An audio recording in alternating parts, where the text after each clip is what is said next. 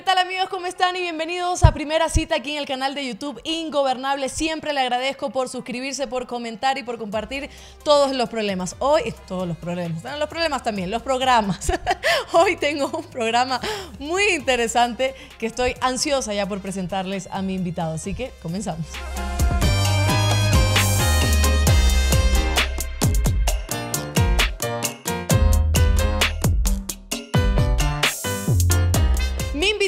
El día de hoy es Rodrigo Pacheco. Él es chef, habla de sostenibilidad.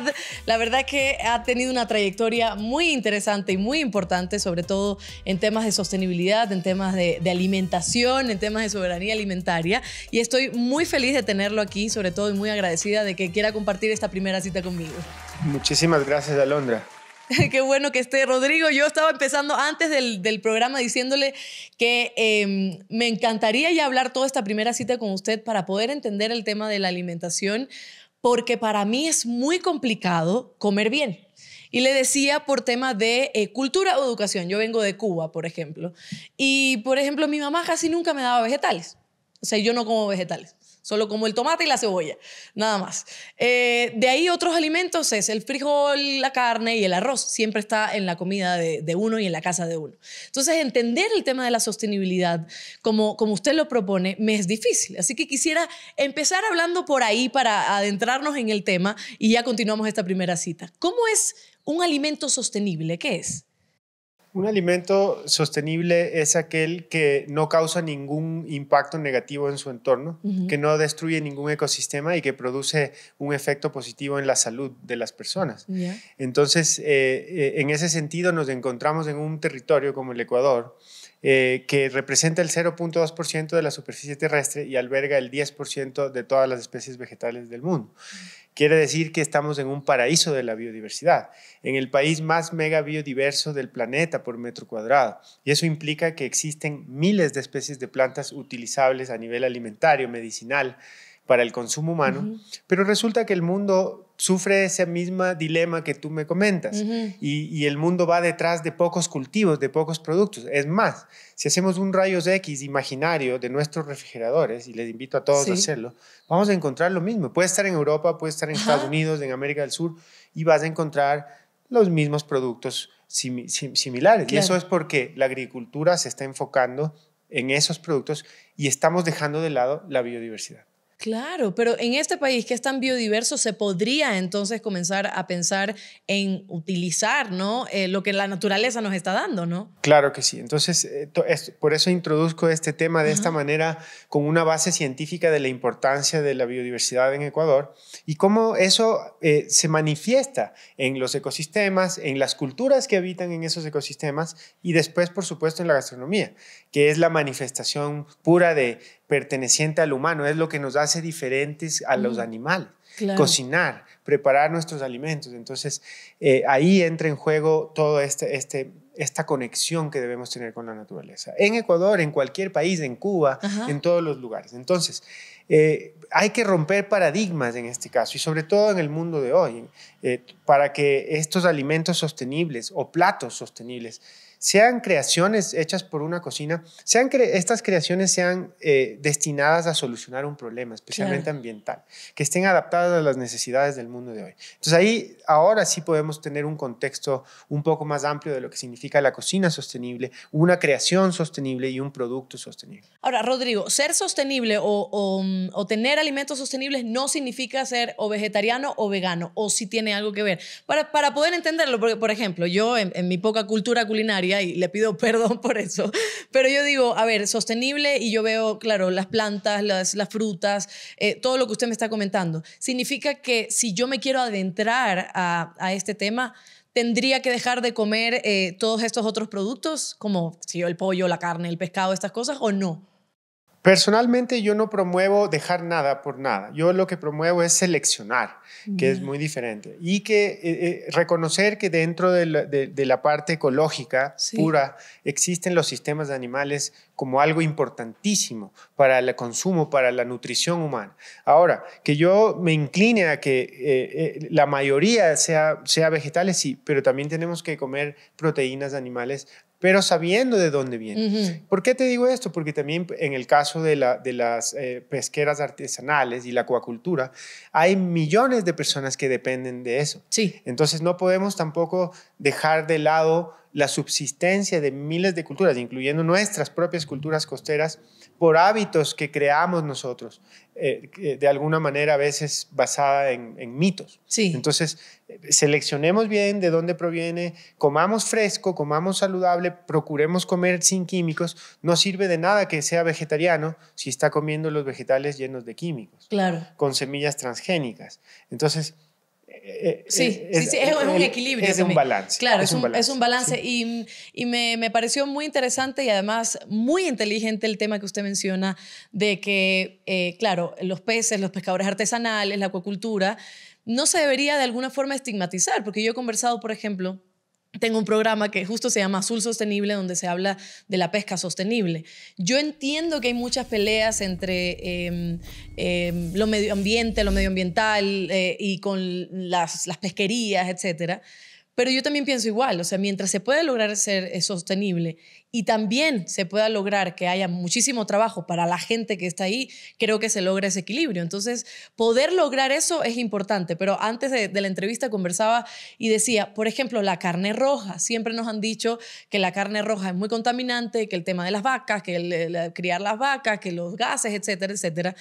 Eh, en tema de sostenibilidad y alimento sostenible, ¿qué pasaría con la carne roja, por ejemplo? ¿Qué, recomendación nos puedes dar? Yo les recomiendo que en vez de quitar, agreguen más. Y al agregar más, más biodiversidad, ya no es tan rutinario, entonces ya no repites lo mismo. Al no repetir lo mismo, ya no te vuelves un consumidor tan, tan prominente de la carne.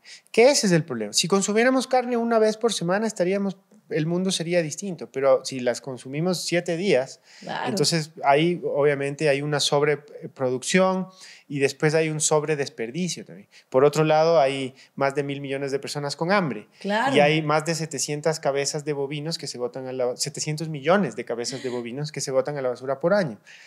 Eh, entonces hay que buscar el balance. Ahora, la, ganadería también es importante, los sistemas animales son importantes, la fertilización y el ciclo agro-silvopastoril que produce eh, la res ¿no? es importantísima para la regeneración de la naturaleza para la, ah. para la alimentación del suelo. Entonces, no podemos negar ese aspecto. Pero sí debemos seleccionar también de dónde proviene la carne, cómo la cocinamos y también el estado de ánimo en el que la comemos. Porque si estamos, hagamos una comparación.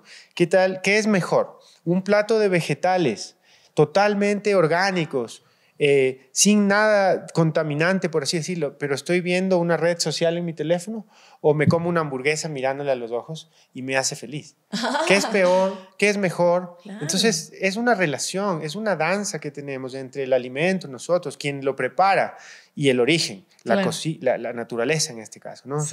entonces, si logramos establecer esos puntos de conexión, ese hilo conductor entre todos, podemos comer saludablemente, sabiendo, sintiéndonos que nos está haciendo bien. Porque a veces mucho, mucho eh, estigmatizar mucho ciertas cosas nos vuelve eh, débiles, nos baja el sistema inmunológico porque dice, esto me va a hacer mal, esto entonces te vuelves con una mentalidad patológica, es decir, te enfocas en la enfermedad, cuando hay que enfocarse más bien en la fisiología, o sea, en lo que funciona bien, esto funciona bien, lo potencio, esto funciona bien, me alegro. Y eso cambia, esa visión del mundo cambia completamente la dinámica. Qué hermoso lo que dice. A la hora de alimentarse. Y sobre todo para, para todas las personas, estamos en una cultura últimamente en donde el tema de la dieta y el bajar de peso y el comer saludable, pero de forma obligatoria. Entonces, eso de ahí, y lo digo a nivel personal, cuando yo empezado a hacer dietas y a comer, obligarme a comer vegetales o a comer sano, yo la paso mal, o sea, realmente la paso mal porque yo no entiendo ese proceso y, como que no llega a mí de una forma, digamos, muy amable, ¿no? Sino eh, estricta. Y, muchas personas se sienten así con esa, con esa tristeza pensando en que tengo que bajar de peso, en que tengo que mejorar y no disfruta realmente de todo el proceso que conlleva, ¿no? Cuando dejé de pensar en eso, ahí yo, incluso en mi cuerpo empezó a mejorar y es, y es, es genial que la gente empiece a comprender que la comida y el proceso de comer es algo que, que deberíamos disfrutarlo todo y que no debe ser tan restrictivo, ¿no? Claro, y libre de pantallas, libre de televisión.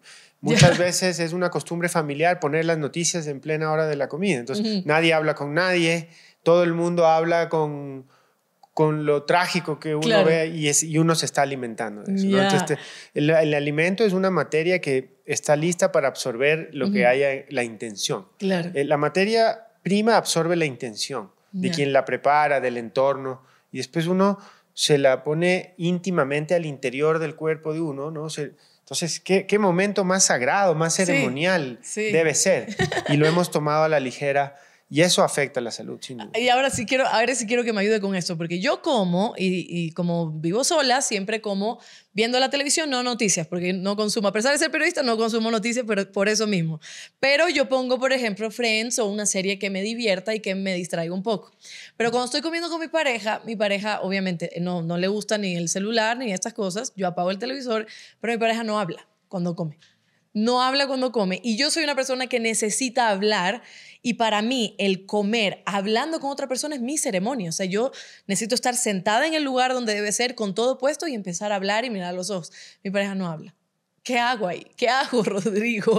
Tal vez está demasiado rica la comida, entonces se está enfocando en, en la comida y no en, la, en el momento. Pero una buena comida no solo es, es la materia, es una buena experiencia, sí, sí, llamémosle así, experiencia gastronómica, que puede ser en la casa. Sí, sí. Está, está, está compuesta de muchos detalles. Entre eso, la conversa, el ambiente, la comida, la música, ¿no? Toda la intención, el menú.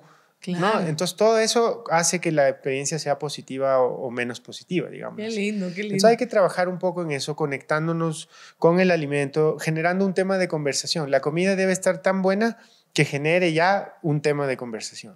Si no genera un tema de conversación es porque estamos llenando la pancita, pero lo que no debemos hacer es solo llenar la pancita, sino descubrir, que es muy diferente, aprender y nutrirnos, no solo de, ese, de, de esas proteínas o de esos oligoelementos o vitaminas o minerales, sino nutrirnos de la historia, del origen, del lado medicinal de esa especie, del aspecto antropológico, de, del ciclo de vida. Entonces, eso es parte de la alimentación. Y ahora que hablamos de, amor y de parejas, ¿cómo, ¿Cuál es la comida que recomiendas para una primera cita, por ejemplo? Si vas a salir con alguien, eh, ¿a dónde llevarías a esa persona para comer eh, en una primera cita? Yo, bueno, ya pasé por eso, pero a, mi, a, mi, casa, porque ahí cocino. Claro. Entonces, y ahí, ¿no? Y, ahí ya ganó 50%. Pues. ahí, ahí, cocino y, claro, lo, lo, importante es preparar algo con amor y preparar algo sencillo. De algo sencillo se puede hacer algo extraordinario.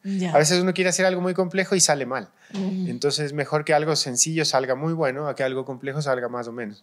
Entonces, siempre y lo simple bien hecho es el camino. Claro, y por ejemplo, si yo he escuchado a amigas y amigos que dicen, no, imagínense que en la primera cita me llevó a comer salchipapa en una carretilla. Y yo digo, eso, o sea, usted, por ejemplo, chef, ¿Llevaría a alguien a comer salchipapa en una carretilla o, es algo como que no, en una primera cita no debe ser, tiene que ser el plato exquisito? Le voy a cambiar el menú. Llevaría a alguien a comer tripa mishki en la primera cita feliz, encantado.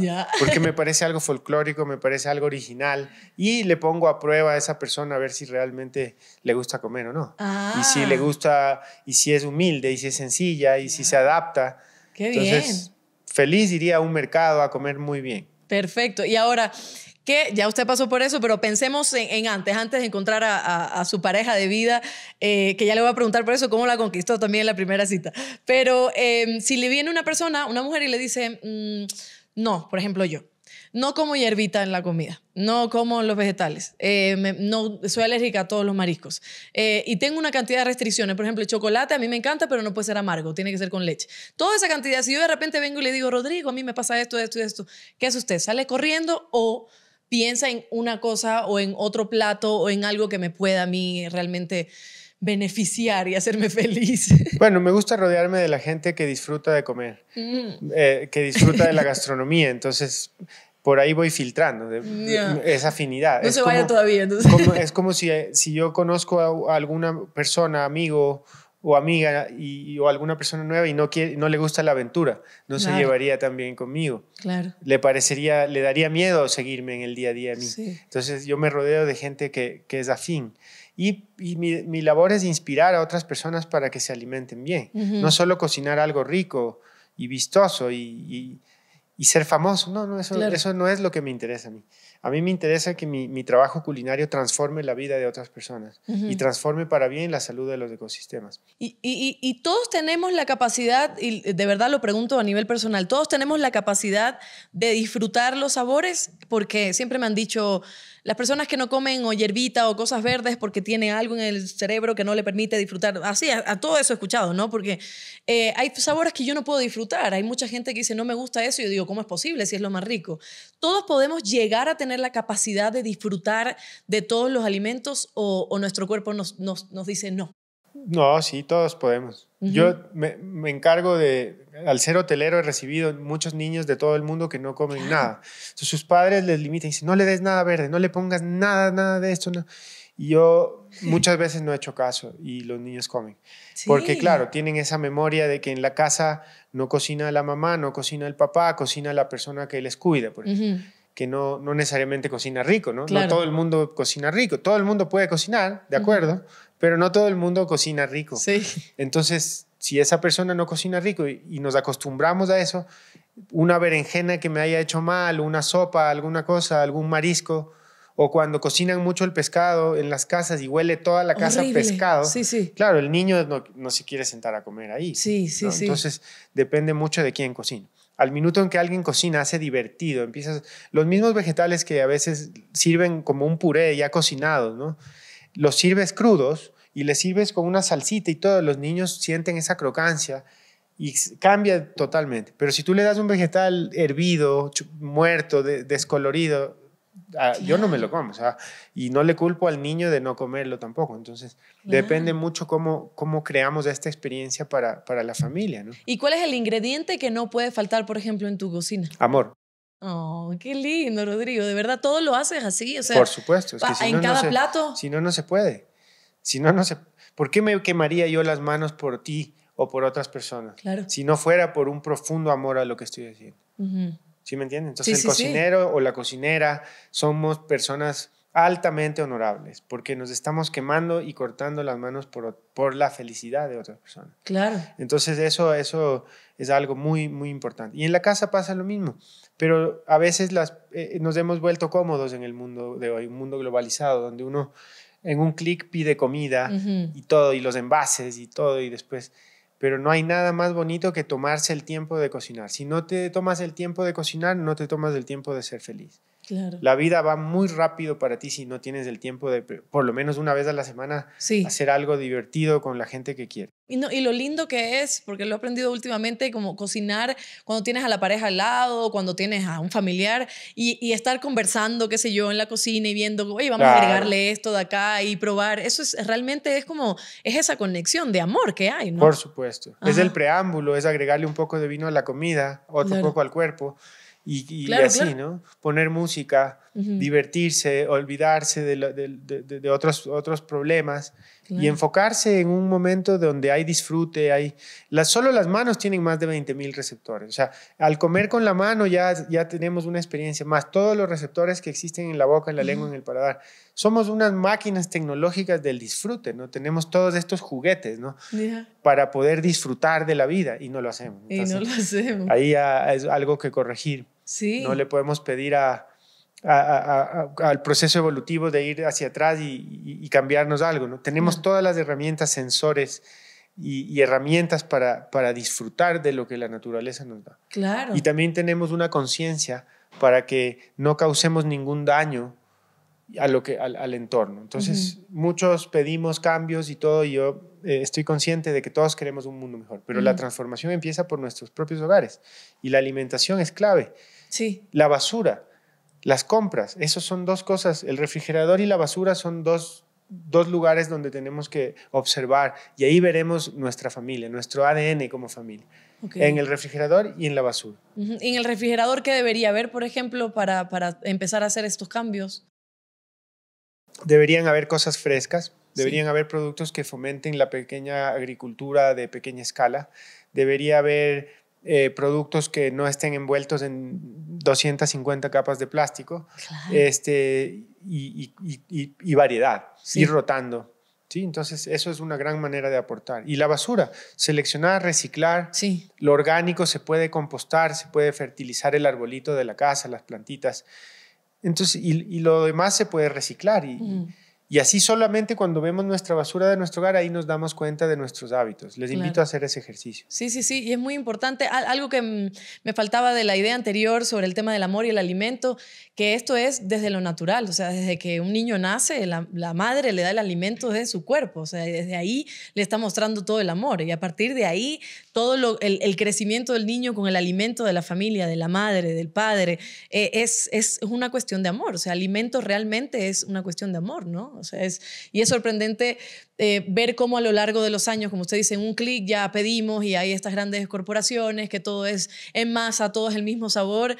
Y si bien podemos disfrutarlo, ¿no? Con otra persona y podemos hacer ese ejercicio de disfrute, también qué es lo que estamos comiendo, ¿no? Y, y nuestro cuerpo nos avisa, creo yo, cuando algo está mal. Cuando empezamos a comer bonito y comer bien y comer con amor y comemos algo de repente que no está bien hecho, ya nuestro cuerpo nos dice, ¿no? Nos avisa. Tenemos que hacerle caso al cuerpo, ¿no? Totalmente, es muy intuitivo todo, hay que escuchar el ser interior, ¿no? Claro.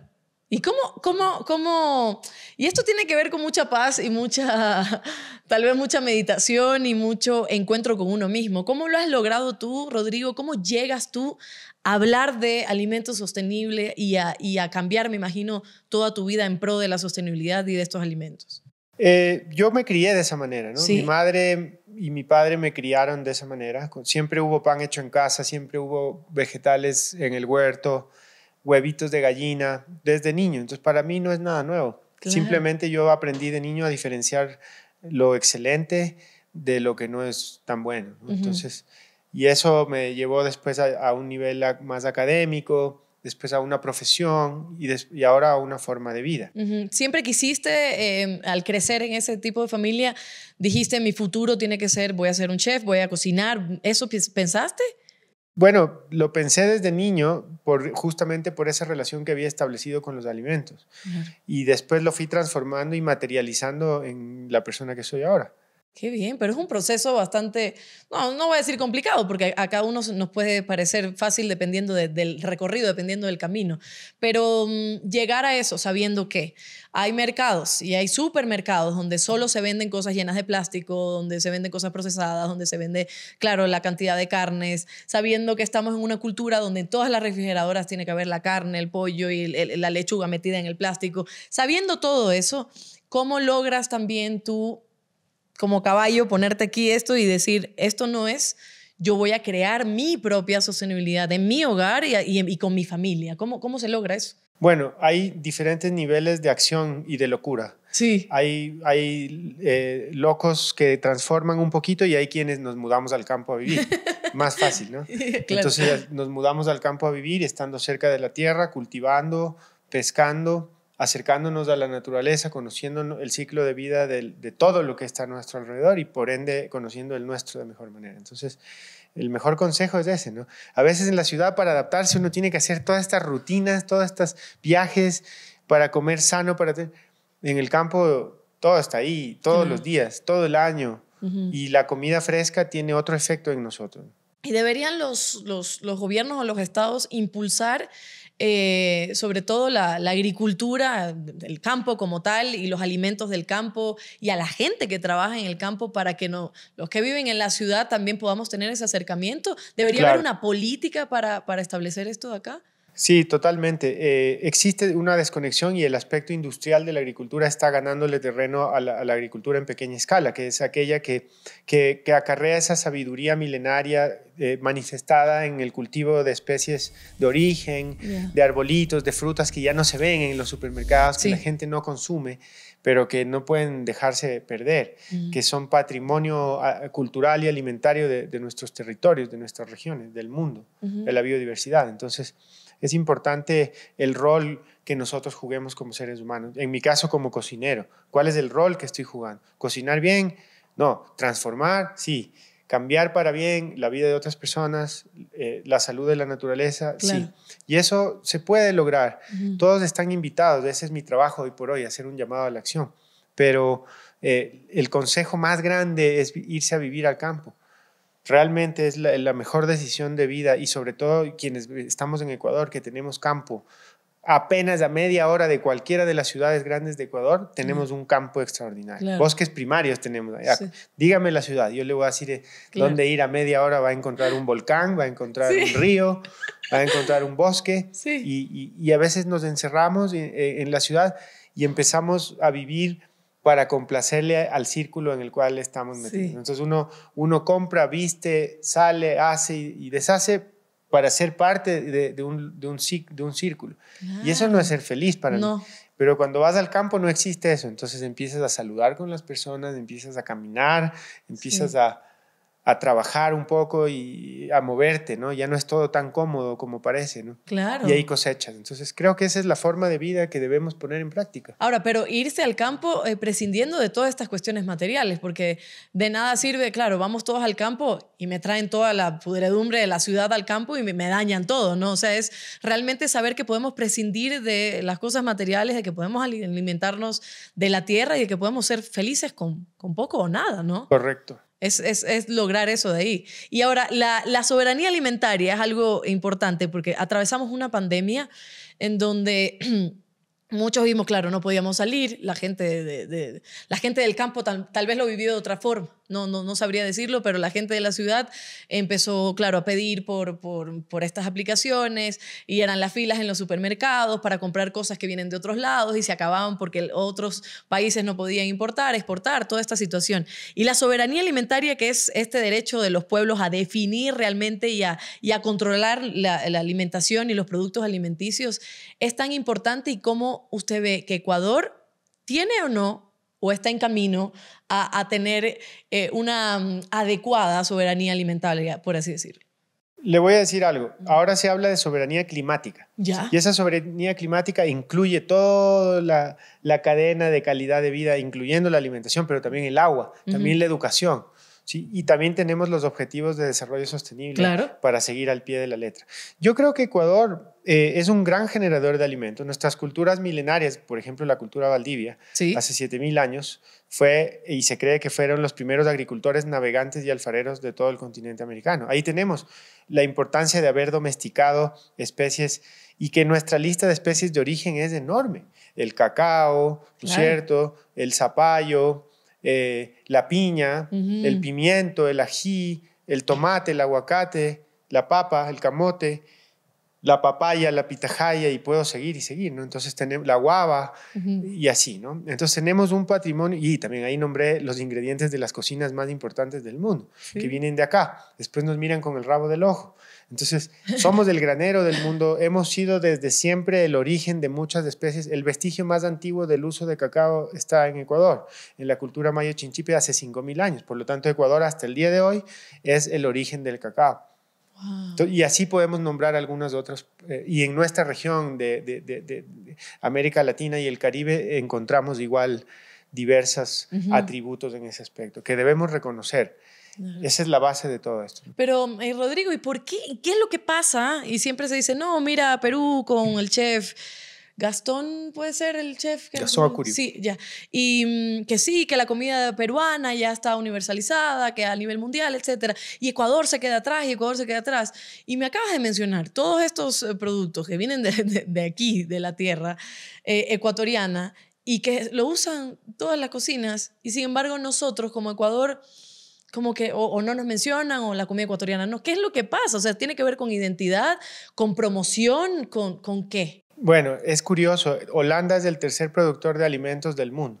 Y Ecuador fueron los primeros eh, eh, agricultores de todo el continente americano. Y en agricultura no somos más que importantes en el banano y en un poco en el cacao y en un par de productos más. Y aparte de eso, no tenemos mayor relevancia en la agricultura. Sin embargo, tenemos 18 horas de luz por día, un clima donde tú literalmente te comes una fruta y, siembras un árbol. Sí, sí. Ahí mismo, Todo crece aquí. Entonces creo que el Ecuador tiene el potencial, pero no hay, no hay eh, eh, por parte de, las autoridades, no existe la, la motivación, no existe la normativa, tampoco existe la voluntad de proteger los ecosistemas, de generar nuestro propio alimento.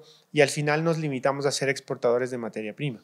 Según el Fondo Monetario Internacional, el 40% de todas las cosechas se pierde. Entonces, si nos limitamos a vender la materia prima, ya estamos perdiendo el 40%. Y después eh, vivimos en ese mundo donde las cadenas de distribución y todo van desvalorizando estos productos.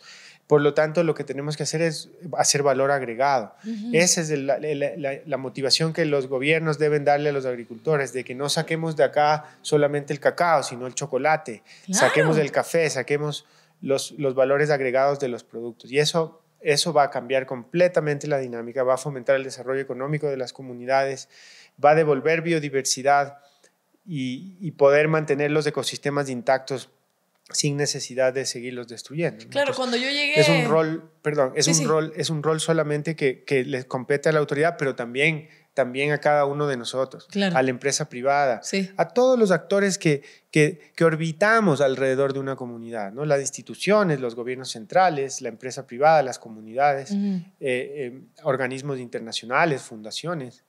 Y, todas las personas. Y, ese valor agregado es tan importante como el tema de la trazabilidad. Por ejemplo, yo me imagino que como tú vives en esta zona, también tus alimentos son de esta zona. Todo el mundo sabe que lo que va a comer está cosechado incluso tal vez con tus propias manos y con la gente que trabaja contigo, ¿no? Y el tema de saber de dónde viene lo que estamos comiendo es parte de ese valor agregado. Para no saber que estamos comiendo un pollo frito que no sabrá cómo lo hicieron, de dónde lo hicieron y no sabemos qué, químicos tienes, etcétera, a menos que leamos los ingredientes que sabemos que también hay una falsedad dentro de eso, o sea, también sabemos que hay una mentira dentro de eso. Saber de dónde vienen los alimentos creo que aporta muchísimo para, para nosotros sentirnos bien como estoy ayudando a este agricultor, estoy eh, siendo parte de la sostenibilidad, ¿no? Eso podríamos agregarlo también a nivel privado y a nivel público, ¿no? Y criar tu propia gallina. Exacto. Imagínate buscar la trazabilidad de una, de una pieza de pollo cuando tú puedes criar tu propia gallina. Y en Ecuador inclusive lo podemos hacer en la ciudad. O sea, eh, eh, cada uno, mientras hay un poquito de luz, un poquito de tierra, podemos sembrar algo, podemos cultivar algo, podemos tener gallinitas y, esas gallinitas son composteras, también compostan los desechos orgánicos, después nos dan fertilización y nos dan huevos y nos dan carne. Entonces creo que es un ciclo virtuoso que, que se genera a través de estos hábitos del campo que pueden ser aplicados en la ciudad y en el campo y en cualquier lugar. Pero todo depende de la visión de nosotros y de cuál sea nuestro rol, como te digo, definir nuestro rol. O sea, estamos aquí, tú eres Alondra, yo soy Rodrigo, tú tienes un rol, yo tengo el mío, pero, pero lo tenemos claro, que todos lo tengamos claro. Y que dentro de ese rol, fuera de ser eh, una, un elemento para nuestras familias, para el desarrollo del país y todo, seamos unas herramientas para, para generar soluciones para el mundo y no tener que apuntarle a los gobiernos todos los problemas que suceden, sino que nosotros también, que nosotros también solucionemos. Así es, y sobre todo eh, sabiendo que como yo te hablaba de soberanía alimentaria y me dice soberanía climática, ¿no? Estamos atravesando momentos muy, difíciles que se vendrán peores tal vez en temas climáticos. Estamos viendo, por ejemplo, la sequía ahora mismo, las altas olas de calor, después las de frío, después los huracanes, todo. Lo estamos viviendo realmente y creo que es, es momento de generar esa conciencia. Y lo digo porque hace unos días hacíamos una toma de dron en la ciudad de Guayaquil, por ejemplo, ¿no? Yo recién estoy viniendo aquí todo muchísimo y me daba risa lo que decías, que aquí en cada esquina o hay un volcán, o hay un árbol, o hay un parque, o hay un lago, o hay un río, y si vamos eh, siguiendo viajando, lo vemos más. Estaba haciendo esa toma de dron en Guayaquil y es puro cemento, y es, y es, es todo gris, es gris, es pura casa, casa, casa, casa, casa, edificio, un arbolito por ahí y dale con otra, otra vez lo mismo gris. Entonces, incluso vivir en este tipo de ciudades en donde se prioriza más. Yo, entiendo que hay problemas de vivienda, ojo, no podemos dejar de lado esto. Y hay problemas eh, de empleo y hay problemas que hay que buscar que las ciudades también acojan una cantidad de personas que están llegando también. Pero si vivimos en una, en una ciudad o en un país en donde se prioriza también el concreto, más allá de lo sostenible, más allá de los árboles, que son los que nos dan también oxígeno, más allá de la sostenibilidad de los mares, que son los que nos dan mayor oxígeno, como ahí, ahí en serio estamos yendo a qué? O sea, a vivir en este ciclo de realmente violento en donde ni nos estamos alimentando bien ni nos estamos viviendo bien, ¿no? Claro. O sea, hay que cambiar eso de ahí. Y hay una crisis social que estamos viéndole todos y no la podemos negar. No. Entonces, todos los seres humanos tenemos algo bueno y, y, malo dentro de nosotros. Según el entorno en el que estemos, eso se va a manifestar y va a salir a la luz. Si, la, si a la gente se le da un entorno como lo que tú mencionas, mira el resultado de lo que pasa. Sí, es, sí, es sí. así de simple. Sí, sí. Porque en el campo no pasa eso. No. En el campo no, no sucede eso. En el campo nadie tiene una alergia. Nadie tiene una alergia de nada. Yo paso con alergia todos los días, Rodrigo. En el campo te digo, nadie, nadie tiene una alergia, todo el Sí. mundo come de todo. ¿Por qué pasa eso? ¿Y Claro. por qué en la ciudad ahora eh, en los restaurantes tengo alergias, alergias por todas partes? Claro. ¿Por qué pasa esto? Ujú. En el campo no existe. Entonces, todas esas son cosas que nos indican cuál es la manera de vivir, Claro. cómo debemos vivir, hacia dónde debemos dirigir eh, nuestra energía, nuestra familia, eh, las conversaciones. Hablar del cambio climático. Mucha gente piensa que el cambio climático solamente es el huracán, o- pero no se dan cuenta que puede venir olas de inmigrantes, pueden venir por el mar, como pasa en otras partes del mundo. ¿Qué vamos a hacer ante eso? ¿Cómo, le- cómo reaccionamos? Yo vivo frente al mar. Parte del cambio climático puede ser que muchas personas huyendo de estas situaciones lleguen por las costas. Claro. ¿Qué vamos a hacer? Les vamos a dar la bienvenida, les vamos a cerrar la puerta. Claro. Eso es un problema. Sí. ¿no? Eso es un problema del cambio climático que la gente no, no ve. Ujú. Piensa que solo va a haber mucho calor. O mucho. Son movimientos sociales, son, son desplazamientos, son migraciones masivas. Sí, entonces, eso no podemos no, podemos no hacer algo. ¿no? claro. Entonces, una, una vez alguien me dijo, oye, pero tú eres chef. ¿Qué haces hablando del cambio climático? Le dije, pero perdóname, momento. Todo el mundo tiene derecho a hablar del cambio climático. Los niños, los adultos mayores, todo el mundo. Porque so- todos vivimos bajo el mismo techo Ujú. y tenemos que cuidarlo. Ya, ahora, eh, ¿qué es la sostenibilidad? Porque siempre decimos la, la, la, la frase que está o en los diccionarios o lo que aprendemos, pero en sí, en sí, ¿qué es la sostenibilidad? Y si todo, en todo momento de nuestra vida, en todos los factores de nuestra vida, en todos los espacios de nuestra vida, podemos llegar a ser sostenibles. Bueno, la sostenibilidad, la sostenibilidad es, una, es un sentido de la permanencia, creo yo. Ya. De, de que, de que las cosas perduren en buen estado. También existe la sostenibilidad económica Sí. y es importante para la conservación también. Pero la sostenibilidad es un comportamiento de vida, Ujú. es una forma de ver las cosas, es una visión. Ya no es una moda, ya no debe ser visto como un- una acción necesaria, sino debe ser visto como un comportamiento en el cual en cada paso que damos nos tomamos en cuenta este, este fundamento de que debemos generar alimento, de que debemos preservar la naturaleza. Esa es una cultura, diría yo. La sostenibilidad es una cultura Ujú. adaptada a, la- a las necesidades del mundo de hoy. Claro, y es, sí es importantísimo que no solo es en temas de, de alimentos. El otro día vi una noticia que habían estos desiertos llenos de ropa que se botaban y cuánto plástico hay ahí, cuánta, cuánta producción, cuánta incluso esta esclavitud moderna donde ponen a trabajar un montón de personas, incluso a niños, para que hagan estas prendas y después las botemos. O sea, creo que, eh, creo que deberíamos vivir eh, y pensando en lo cíclico, ¿no? En lo que podemos reutilizar, en lo que podemos, lo que nos puede servir de nuevo. Eh, Rodrigo, ya, ya hablando para, para relajarnos un poco en tema de información, cuéntame ahora sí cómo fue tu primera cita con tu esposa. Si realmente cocinaste en la primera cita o a dónde la llevaste. Necesito toda la información. Claro que sí. Bueno, eh, con, con Daira fue, fue muy, muy ligada nuestra relación por el deporte. ¿Ya?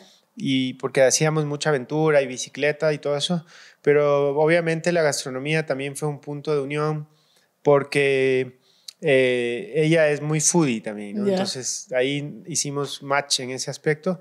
Y sí, me acuerdo que el mismo día que le pedí matrimonio fue después de una cena en Año Nuevo donde estábamos en, en Portete ¿Ya? y cociné un, en el disco, que es un- una, Ujú. una herramienta para cocinar. Hice un hueco en la arena, prendí una leña y hice un arroz con concha y vino blanco que lo serví de, de menú de Año Nuevo, ¿no? La- el- ahí con la gente que estábamos. Entonces parece que eso fue, a- hizo algún efecto especial. Luego nos cayó una lluvia torrencial y estábamos mojaditos todo, y se me salió como pedirle matrimonio. Y te juro, te voy a confesar algo, ni siquiera tenía el anillo, porque yo no, no sabía el protocolo, no tenía idea, nunca lo había hablado con nadie, o sea, nunca, no, nunca supe esa información en mi vida. ¿no? Entonces yo solo le pedí y después ya, ya, ya caí en cuenta Y después ya le di el anillo en otro momento, pero en ese momento no le, no le di nada. Y, pero ella feliz también, me imagino. Claro, estaba sorprendida y todo esto en una lluvia, de, en Año Nuevo, después de haber comido rico. Entonces fue todo bien, bien, bien ¿Y cómo fuera de la norma. Pero diría. ¿cómo supiste que ahí, sin anillos, sin nada, ese era el momento en donde... No te puedo decir eso. O sea, un llamados de la naturaleza. Claro, ya, pero ya sabías que con ella es con la que querías compartir. Por algo lo dije, ¿no? Claro. Por algo lo dije. Y yo respeté lo que dije, yo mismo. Entonces, no, mm, y no me arrepiento, al contrario. Claro. Vamos a cumplir muy pronto, en unos días, nueve, eh, 10 años de casados. Así que Ay, felicidades. ya ha 10 pasado un tiempo, te- hemos formado una familia y también hemos desarrollado proyectos juntos, echando raíces Ujú, y, y sobre todo abrazando a comunidades. Claro. No solo ha sido para nosotros, sino hemos abrazado todos los niños de la comunidad también. Claro. ¿Ella trabaja contigo o cocina también o no? Cocina muy rico, trabaja conmigo en muchas cosas y también trabaja aparte. sí. Ya. ¿Y cuál Pero es el- siempre medio en lo mismo. Claro, lo mismo. ¿Y cómo es igual estar tan conectados tanto en la vida mm, personal, privada, como también en, la laboral? ¿Cómo, ¿Cómo se lleva ese equilibrio de ahí? Es como un trago que vendemos en Foresta que se llama matrimonio. Ya. Tiene todos los sabores, es amargo, ácido, dulce, tiene todos los matices. Ujú. Así mismo es. ¿Y has alguna vez pedido disculpas o perdón con un plato de comida o no? Eh, bueno, siempre, siempre suaviza un poco la, la- la- la carnecita, un una buena comida.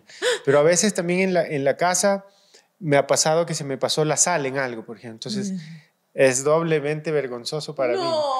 Pero, pero bueno, después uno ya aprende a que por- a veces con la familia uno quiere asegurarse. Sí. En los restaurantes no me pasa mucho, no me pasa, pero todos cometemos errores, ¿no? Pero Sí. minimizamos el error. Pero en la casa uno a veces asocia eso con el amor, ¿no? El sabor con el amor. Sí. Entonces se nos puede ir de, la- de más la sal. Sí Ujú. me ha pasado algunas veces. Y, y ha llegado algún momento, y lo pregunto porque nuestros padres, las madres y los padres también, siempre hay algo que hay que criticar o como que no, mijito, así debía ser. ¿Te ha pasado algún momento que has entregado un plato a tu mamá o tu papá o a alguna familiar y ha dicho, "Mm, no, Rodrigo, esto le faltó esto, esto, esto, y tú Claro. aceptas? ¿Sí? ¿Te ha pasado? ¿Cómo- Claro, cómo mi, lo mi madre es mi maestra, pero me lo dice que en buen plan, pero y tiene razón. Pero sí, claro, es que nadie es perfecto y la cocina, la cocina va evolucionando, va- vas aprendiendo, dejas unos, unos temas detrás y luego 10 años después los retomas de nuevo. Es algo muy curioso, nunca es algo muy chamánico que nunca dejas de aprender. Sí. El tiempo va haciéndote como un maestro. Entonces, conociendo más ciclos de vida de plantas, todo eso. Eso después yo lo irrigo a mi familia, les cuento historias, les hago bromas y les llevo, y comen de todo, Mm. comen insectos, mis hijos comen, porque el Ecuador es un país de insectos, de Sí, sí. donde nos hemos alimentado de insectos desde toda la historia. Entonces mis hijos son, les gusta estas experiencias, entonces muchas veces hago una tablita de picar no tradicional, con muchas cosas que hacemos en Boca Valdivia, ¿no? Ya. eh, con frutas, insectos, y, y, y eso mis hijos lo disfrutan y se acercan. Y, De verdad, y Rodrigo. todos disfrutan. ¿Cuántos hijos tienes? Dos, ¿Y de qué edad? De nueve y de seis. ¿Y de verdad comen todo eso? Sí, claro, comen de todo. Comen todos los mariscos, ¿Y qué comen todos los pescados, todas las carnes, todos los vegetales, todas las frutas. Pero, pero a, a ver, explícame esto porque si en un futuro yo tengo un, yo, yo necesito que también le pase eso, yo necesito que coma de todo porque yo me miro a mí y yo no, casi no como nada, sea, siempre estoy comiendo la misma basura, por así decirlo, ¿no? Entonces no estoy comiendo bien, yo sé que no me alimento bien, pero yo sí quisiera que, eh, por ejemplo, mis sobrinas y esto coman estas cosas. El otro día cogí un bolsito de, con papaya y mi cara fue como, "Ugh", porque no me gusta la papaya, pero ella disfrutando la papaya. A mí me encantaría hacer eso. ¿Cómo le enseñaste esto a, lo- a los niños? ¿O es así empezaron, vieron el insecto, tú cocinaste, comieron y ya? ¿Así es? ¿O hay un proceso de aprendizaje para comer? Se cultiva un ingrediente que es el hambre y a, a través de la aventura se, se hace hambre y luego se come rico. Entonces es muy sencillo. Los niños siguen toda esa dinámica y cuando, sobre todo si es algo nuevo y desafiante y, y de descubrir, ellos lo hacen, ellos están hechos para eso. Más bien los adultos son más aburridos y pie- pierden la capacidad de asombro. El niño siempre se asombra por las cosas más sencillas, ¿no? Así es. Entonces hay que ser los adultos también un poco niños en el Sí. fondo para poder aso- seguirnos asombrando de esas cosas. Yo les trato a mis hijos de, de inculcar eso. Luego ellos van y cosechan frutas de los árboles, con, Ah. van, con un poquito de sal y, y van cosechando ciruelos, frutas no tradicionales, ¿no? cerezas pitangas, cosas que, Hay niños que no saben ni siquiera qué es eso. Yo no tengo la menor idea, por si acaso. No tengo la menor idea. Son frutas, de, frutas de, del campo, digamos. Claro, claro. ¿Qué, qué, qué cosa más hermosa? ¿Y qué insectos son los que comen? Chontacuros, hormigas, termitas. ¿Qué? De todo. Todo eso se puede comer. Se le pone una salsita y ya se come. O sin salsita. Ahí los hacemos crujientes, medio picantes, mm. riquísimos, deliciosos. Muy orgulloso me siento de los insectos. No, yo sé, y debería sentirse orgulloso, sí, porque yo, yo, la verdad que estoy quedando muy mal aquí. Claro. sí, claro. estoy quedando muy mal. Y sí quiero, em, a lo largo de, de la vida, cuando uno es mucho más joven, igual tengo 31 años, pero cuando uno es adolescente y eso le hace rechazo a ciertas cosas. Y ahora estoy en un proceso en donde sí quiero probar eh, más cosas en la vida, ¿no? O sea, el otro día sorprendí a mi pareja porque comí una, una crema de brócoli y me miraba así como que sabrá lo que está comiendo. Y yo, sí, estoy comiendo una, porque también me decido probarlo. Em, el hecho de ir a una montaña y bajarla y subirla, el hecho de correr por, por un río, o sea, estas cosas, eh, porque siento que a veces perdemos tanto tiempo preocupándonos en las cosas que ya están y, y que se nos dan tan fácil que nos olvidamos de que hay otras cosas detrás, ¿no? Entonces, ya después de esta primera cita creo que voy a, a probar muchas cosas de lo que menciona. Su plato preferido, el que prepara usted y uno que prepara otra persona. Difícil. Es que me gusta la biodiversidad, pero los ceviches me gustan mucho. Ya. Me puedes poner una venda en los ojos y de espaldas y te hago un ceviche porque es de verdad. Es mecánico para mí hacerlo. Sí. No es, no es difícil. Y es lo que más, lo que diría. para mí es difícil conservar los bosques. Eh, ser embajador de la FAO y hacer proyectos de conservación alrededor de la gastronomía, eso es difícil. Cocinar es lo más fácil para mí.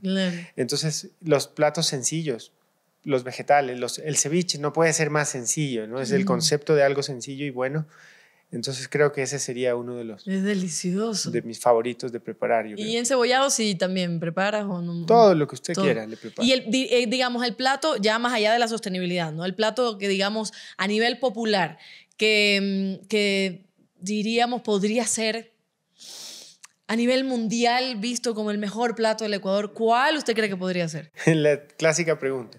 La clásica respuesta mía es la biodiversidad. Porque si yo digo un producto yo sé que existen en el Ecuador casi 50 ecosistemas diferentes. Existen más de 20 nacionalidades indígenas, cada una con su lenguaje, sus tradiciones, su alimentación, sus recetas. Imagínense lo que sería hablar de un producto de una región.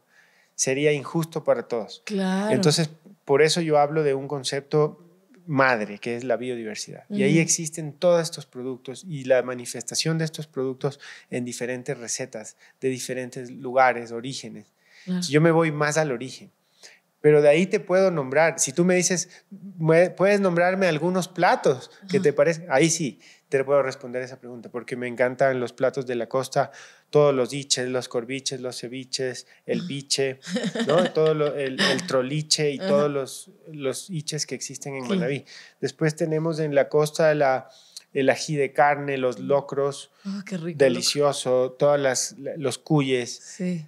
O sea, imaginen. Y en la Amazonía, que la piaracá, la nea piaracá, la cumpía, el casabe, los ahumados, los maitos, los ayampacos, ¿no? Entonces, y en Galápagos, por ahí también tenemos unos ceviches de productos muy emblemáticos de ahí. O sea, vivimos en un paraíso. Sí. Paraíso del alimento. Y hay desnutrición. Sí. Y hay alergias, y hay... Eh, un poquito de mañoserías de personas que no queremos comer. Entonces, eh, pero vivimos en un entorno que, que, que, no, que nos ofrece todo lo contrario. Aprovechémoslo, ¿no? Claro. ¿Y la desnutrición infantil se puede combatir con el tema de la alimentación sostenible? Por, lógicamente, y también es lo que hicimos nosotros en el, en el Jurón, donde van mis hijos. Hicimos junto a FAO un bosque comestible de una hectárea que es la escuela. La escuela es un bosque comestible, los niños aprenden de la siembra, tienen un aula pedagógica, tienen un aula taller, tienen un aula vivero y tienen un aula gastronómica, donde hay un horno, un horno manavita, que es este fogón ancestral. Eso, eso, eso esa es la educación que ellos se merecen, esa es la, esa es la educación que está adaptada a su entorno. Y que no, lamentablemente, en mi caso, cuando yo me eduqué, los libros eran impresos en Madrid y todo eh, estaba enfocado en, en, mm. España, cuando ahora yo soy un promotor de, de, la sabiduría de nuestras culturas milenarias. Claro. De hecho, vivo de esa manera. Entonces creo que tenemos mucho por descubrir en nuestro propio país que nos puede hacer sentir más, más orgullosos de quiénes somos, de lo que tenemos, de nuestros productos, tradiciones. Y, y cuando hablemos de insectos, quizás, mira que los insectos han sido de los platos que más han sorprendido en mi carrera profesional a la gente que yo le he dado. pero porque yo los he presentado de una manera muy honorable. No algo como, va ah, experimentando contigo. No, no, sino esto es parte de la cultura de nuestro país. Y eso causa algo, una remoción de conciencia importante en las personas. Entonces, y, y, bueno, comer es un acto, acto es un acto político también. Sí, así es. La alimentación es lo más importante. Tenemos que pensarlo así. Y mm, Rodrigo, em, antes que se me olvide, mm, primero quiero preguntarle dónde que vamos y dónde podemos ir a comer tus platos. Porque ya yo necesito comer todo el chontacuro y todas las hormigas que usted me dé, yo me las voy a comer, lo prometo. Pero ¿dónde, ¿a dónde Le voy? a cobrar la palabra. Eh, va en Foresta, en Quito, es un restaurante nuevo. Es de la hermana menor de Boca Valdivia. Boca Valdivia es en Puerto Cayo es la casa del chamán, por así decirlo. No hay menú, no hay repertorio, nadie pide nada, todos se sientan, aprenden y comen fantásticamente lo más fresco que hemos cultivado de nuestros bosques comestibles y la pesca artesanal que hacemos nosotros. Foresta es una continuación del bosque comestible biodiverso más grande del mundo en Quito, donde sembramos, primero antes de abrir, un año antes, sembramos en Pillagua más de media hectárea de biodiversidad y también constituimos en la floresta el bosque comestible biodiverso urbano La Floresta, donde tenemos más biodiversidad y nos proveemos de ahí. Entonces, Foresta es este hogar donde acogemos a toda esta biodiversidad y la transformamos en creaciones culinarias que valoricen este aspecto esencial que caracteriza a nuestro país como, como algo, como eh, si, si nos imagináramos un podio, el Ecuador es la medalla de oro en biodiversidad de todo el mundo. Usémoslo, usémoslo en todo, para bien, para proteger esa biodiversidad y para que ese sea el atributo principal de muchas actividades que no solo relacionadas a la alimentación, puede ser la moda, puede ser la construcción, el arte, la comunicación y muchas, eh, muchas dinámicas que pueden ser influenciadas por esta cultura. De, de, la biodiversidad. Pues allá, allá vamos. Y Rodrigo, ¿hay comida que nos puede hacer felices o ponernos felices o ponernos tristes o darnos estado de ánimo. La comida puede hacer eso. Por supuesto. Los cocineros podemos hacer eso. Yo te puedo hacer poner triste por, con una comida. ¿De verdad? Por supuesto. Y te puedo hacer enojar mucho también. Pero también te puedo hacer muy feliz con una comida. Ya. Depende. Claro, pero... Depende cuál sea mi intención y depende con qué, con qué técnica lo haga. Si yo hago algo malo, tú te vas a molestar. O sea, uno lo siente. Te vas a molestar y te va a generar... Si algo te cae mal, peor, te vas a tu casa y te enfermaste. Entonces, es tan poderoso el alimento que, tú, como tú dijiste hace un rato, tu cuerpo lo reconoce al segundo. Entonces, cuando cocinas, cuando comes de mis manos, vas a reconocer al segundo que lo que yo te voy a ofrecer está hecho con cariño, con respeto y donde estoy siendo consecuente con cada una de las cosas que te estoy mencionando ahora. Y eso cuando vayas a comer a Foresta o a Boca Valdivia, eh, quiero que, que, logres cerrar este ciclo de esta conversa en ese momento en la mesa donde vas a poder probar algo nuevo y quizás aprender algo a través de la gastronomía. De una. Hay un libro, hay una de las primeras novelas que leí de Laura Esquivel que se llama Como agua para chocolate. Y recuerdo que a mí me encantó por eso, porque eh, había una escena donde describía que la, la, la mujer que, que cocinaba y que hacía el chocolate estaba muy triste y le caía como una lágrima al, Sí, sé que es ficción, ¿no? Pero es muy lindo saber que le, le cayó una lágrima a lo que estaba cocinando y todo el mundo comía y empezaba a llorar y todo el mundo empezaba a llorar. Y cuando ella estaba sintiéndose enamorada, todo el mundo, y, hay una película en donde en esa escena todo el mundo comienza a besarse y comienza a tener sexo en el, mismo momento porque la comida le dio esto. O sea, la persona que lo cocina también transmite mucho y por eso le, le preguntaba, porque sí creo que, y sobre todo si es una persona buena que está cocinando, la, la comida también es buena, ¿verdad? Totalmente. El entorno, la persona y la intención. Sí. Y el producto. Por eso te digo, es una danza. Es una danza muy bonita entre la naturaleza, el cocinero, el comensal, y que debemos verlo de esa manera. es muy poderoso el efecto, es terapéutico, es sanador, la cocina es muy sanadora. Yo te digo porque cocino de una manera muy simplista, con una despensa libre de productos industriales, de texturizantes, de especias artificiales, de colorantes, cualquier cosa de esas raras no existe en ninguna de mis cocinas. Entonces, cuando la gente come, se da cuenta que vivió algo diferente, me lo agradece, llora, abraza, se despide, respeta, se levanta de la mesa o apoya en hectáreas al bosque comestible biodiverso más grande. Sí se puede. Claro. O sea, la gente que va a Boca Valdivia vive la experiencia y apoya en hectáreas. Ah. Apoya, nos, nos hacen donaciones para el bosque comestible, porque la comida y la experiencia jugaron ese rol de transmitir esta información que yo te la digo a ti con palabras, se las digo a ellos en la experiencia, a través de la experiencia gastronómica. Y causa este efecto de, de, de darle soporte al proyecto, de ser felices, de... Nos hemos ganado varios reconocimientos a nivel mundial por, esta, por este tipo de cocina regenerativa.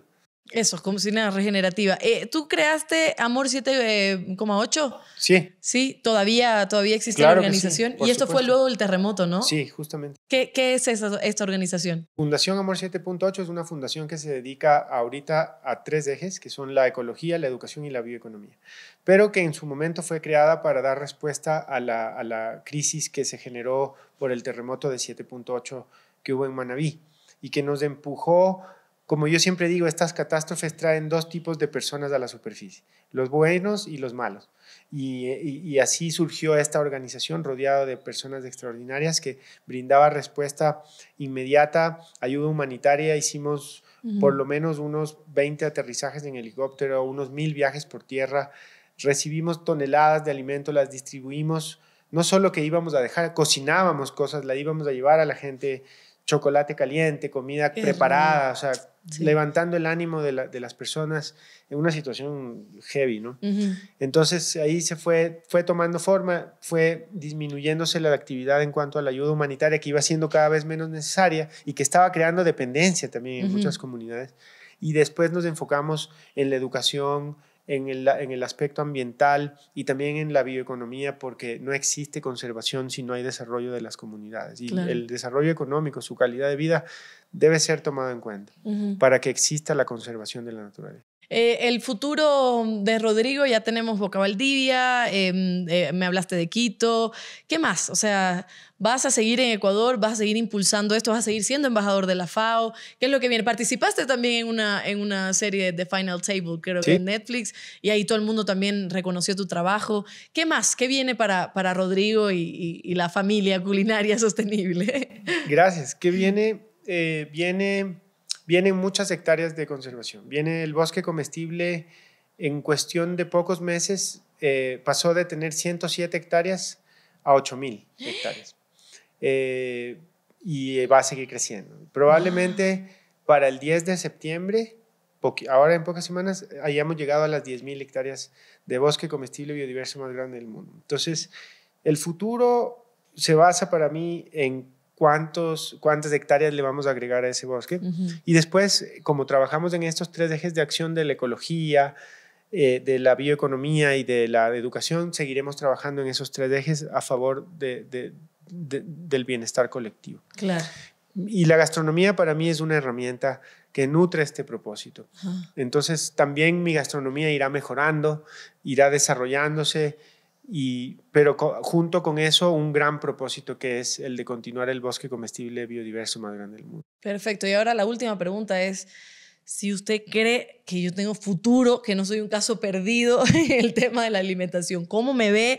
Eh, ¿Me ve comiéndome mucho otacuro y comiendo comida sostenible o, o, soy un caso perdido? Dígame la verdad. Si usted me invitó, ya es una puerta que usted quiere abrir para la buena alimentación de, eh, tuvo este llamado de conversar conmigo, de escucharme eh, y de escuchar estos fundamentos súper claros y muy fáciles de digerir para todos que yo le comento. Por lo tanto, pienso que no solo que no es un caso perdido, sino que es un gran potencial de un caso de transformación personal que después va a ser capaz, como buena comunicadora, de inspirar a más personas a hacerlo también. Ah, gracias. En ese sentido, sí tengo que agradecerle también a, a, la persona que no habla cuando yo como, que es mi pareja, porque sí es más sostenible que yo. Él tiene sus gallinitas, también tiene los, eh, los huevitos y, y, tiene las plantas y está preocupado por todo eso. Y es una de las personas que de una me dijo, aquí está Rodrigo, conócelo. Entonces, creo que, creo que entonces voy por buen camino. Lo único que me falta es ir allá a Boca Valdivia, porque me encanta Manaví, me voy para allá y allá vemos qué y a Foreste, que está aquí cerquita en la Isabela Católica. Es que Manaví me gusta mucho. También, las, las, dos es bueno porque es como el lado, el, eh, eh, para nuestras culturas indígenas todo tenía un lado macho y un lado hembra. todo. Piedras, objetos, árboles, ecosistemas, todo. Volcanes. Ya, claro. Y, y, bueno, Boca Valdivia sería ese lado más masculino y, y Foresta el lado más femenino. Usted escoja. Ya, perfecto. ¿No? Voy a ir a los dos, Rodrigo. Los dos. Muy bien, bienvenida. Muchísimas gracias, por esta primera cita. Estoy encantada. Gracias a ustedes por conectarse. Me encantó tanto que me olvidé de decirles que puede apoyar eh, a Ingobernables, puede apoyar a Primeras Citas en el super chat con lo que usted desee. También luego los programas que se quedan grabados en YouTube puede apoyar en el corazoncito de gracias para poder continuar haciendo estas primeras citas maravillosas. Así que nos vemos en otra. Chao y a comer bien y a comer de forma sostenible.